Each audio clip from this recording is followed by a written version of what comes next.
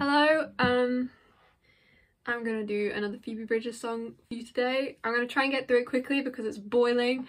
Um, so yeah, let's do it.